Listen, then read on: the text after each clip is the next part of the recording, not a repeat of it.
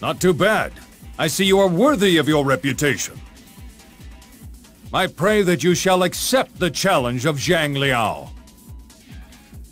Hmm. So, Dong Zhuo does have some worthy officers. The name is Guan Yu, and I'll be happy to accept your challenge.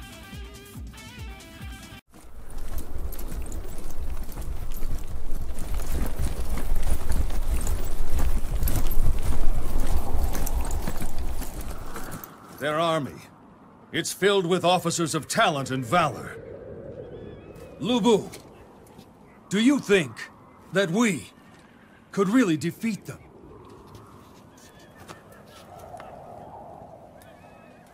Doesn't matter. Their numbers make no difference. By opposing me, they are marching to their own slaughter!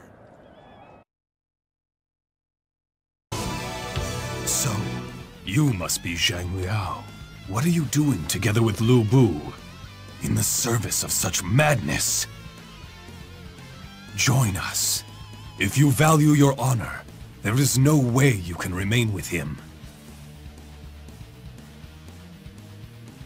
Guan Yu, can you only see Lu Bu as violent? Behind his violent nature, I sensed a hint of honor. As long as there is a flicker of honor within Lu Bu, my loyalty shall not waver.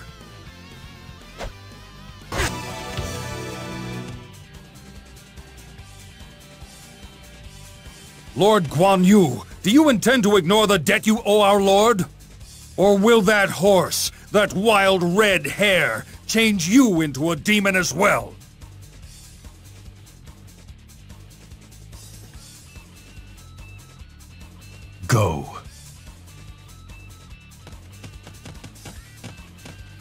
I give you my thanks, Zhang Liao. I almost made the wrong choice. A choice that I would have surely regretted.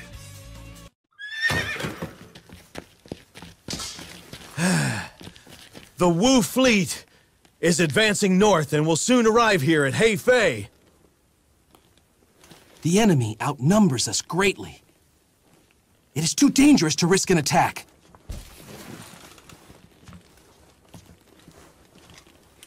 Victory in battle is not won through superior numbers. Guandu! Chibi! Remember them well! I, Zhang Liao, shall crush all those who oppose me!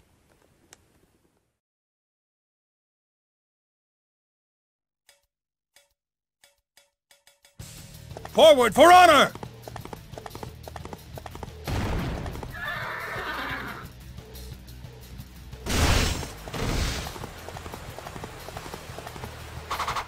With my spear, I will sever the threads of Wu's destiny!